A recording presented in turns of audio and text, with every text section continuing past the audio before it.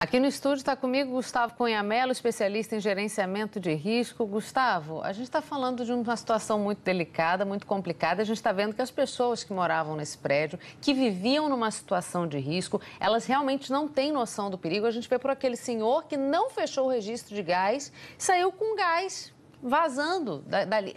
Sei lá como é que ele sobreviveu, mas ele sobreviveu. Ou seja, uma situação que as pessoas não têm noção quão é arriscado morar num prédio daquela forma, né? Sem dúvida. Além da questão fundiária, tem uma questão de desconhecimento total dessas pessoas por muita carência, muita falta de conhecimento e de apoio que jamais poderia sair de um incêndio com um botijão de gás na mão. É, é, é surreal. Eu nu, nunca ouvi uma história similar a essa. Ele teria que simplesmente é, se evadir, evacuar o prédio o mais rápido possível e não ficar procurando seus pertences. Algumas pessoas disseram também procurando seus documentos e tal.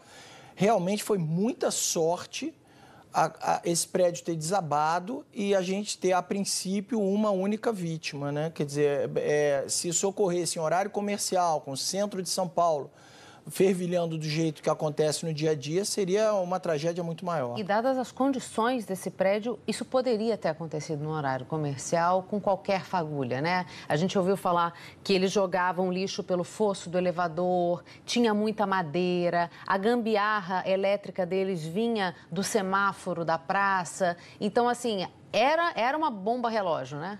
Não há a menor dúvida. Quer dizer, a carga de incêndio é, nessas ocupações é enorme. E aí a gente está falando de papelão, lixo, plástico, colchões. É, é, em situação precária, em situação que não há manutenção, que não há limpeza.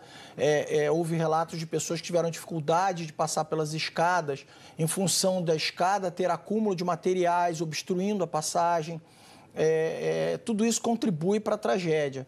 O prédio, um prédio sem manutenção, um prédio que, inclusive, é, é, é, importante ressaltar, até para as pessoas que moram em suas edificações não ficarem com tanto medo em casa, esse prédio ele é bem antigo, é um prédio de 1968, quando ele foi entregue, portanto, anterior ao Código de Obras de São Paulo.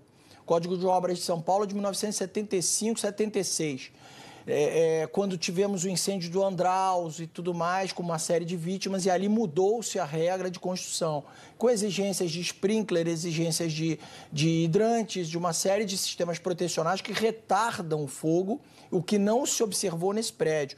Esse prédio é um prédio que provavelmente as escadas não eram clausuradas, então você passa a fumaça e o calor é, de um andar para os outros com uma velocidade muito maior. Então, tudo isso contribuiu para essa tragédia. Gustavo, é esse ponto especificamente do lixo ser jogado no fosso, aquilo ali vira uma combustão imediata, né? Eu queria que você explicasse isso para a gente, porque além de tudo, ela forma como se fosse uma tubulação que aumenta a probabilidade do, do fogo se alastrar, né? Perfeito. O, o, elevador, e aí todo o fosso do elevador, todos os andares em que ele se comunica, e aí muito provavelmente com falta de manutenção, com nenhum é, é, é, sistema que, que, que bloqueasse. E as escadas são elementos que, além da fachada, é claro, pelas janelas, são elementos que é, é, propagam o incêndio, que propagam a chama, propagam o calor, é, multiplicando ele pelos andares. E outra coisa que eu estava vendo sobre a estrutura do prédio, a gente estava comentando, a base dele tinha aço inoxidável, ele era considerado um prédio muito moderno e a fachada era de vidro, o chão era de madeira, de IP e mármore.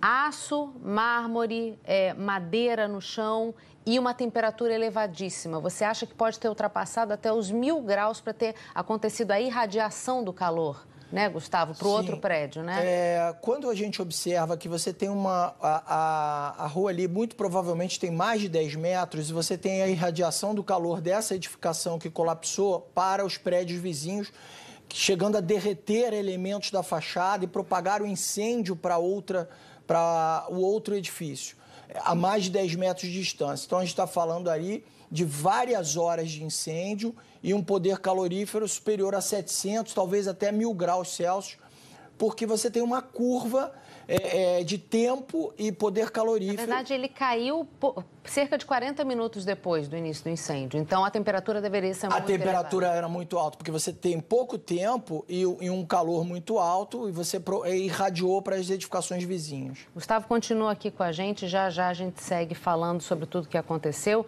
Eu volto a falar com o especialista em gerenciamento de risco, Gustavo Cunha Mello. A gente viu o pastor falando, a gente viu o Palumbo falando do Corpo de Bombeiros, a gente viu um, um ex-morador de um prédio vizinho também falando que já sabia que o prédio ia cair, que já tinha também feito denúncias. A gente tem graves acusações de negligência do poder público e uma eterna jogada de bola sobre quem é a responsabilidade. Né? As autoridades têm que ouvir o que a população está dizendo, né, Gustavo?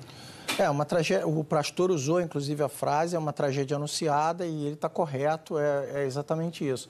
Eu acho que a sociedade teria que discutir algumas situações, por exemplo, sobretudo nesses prédios públicos, esse prédio tem 11 mil metros quadrados. Se você pegar o valor do metro quadrado pelo Sinduscon de São Paulo, vamos trabalhar com 2 mil reais aproximadamente para arredondar. Você está falando de 22 milhões de patrimônio público. Os nossos impostos construíram em algum momento esse prédio que custaria 22 milhões para refazê-lo com seus 20 andares e dois subsolos.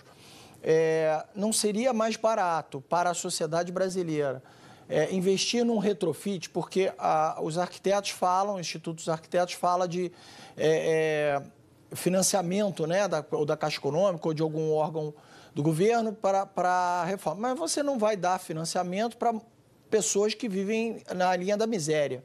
É, é, é, abaixo da linha da, da, da pobreza. Então, é, é, não existe essa hipótese.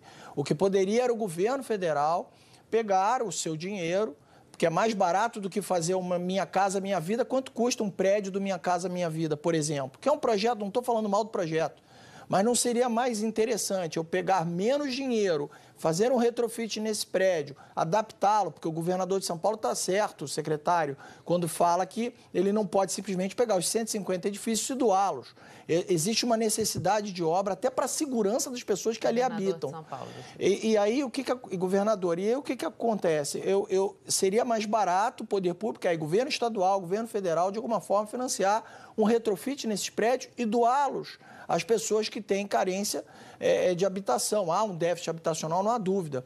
É, agora, deixá-los abandonados a ponto de, de desabamento, correndo risco de, de matar uma porção de pessoas, porque por sorte foi de madrugada, é, é, é, é, que é um erro, é um desperdício do, do, dinheiro público. Gustavo, já ações, vamos voltar a conversar com o Gustavo, porque a gente está vendo que é uma situação muito delicada que se encontra agora, nesse momento aí, né, Gustavo? Sim, é um trabalho sim. de rescaldo que tem que ter todo cuidado, porém rapidez, né? Como é que funciona isso? Esse trabalho é um, é um trabalho delicado, porque ainda está pegando fogo, não aparecem as chamas por fora, mas por dentro tem uma série de materiais combustíveis que ainda pegam fogo, então tem um risco para os bombeiros, tem um risco para os combatentes.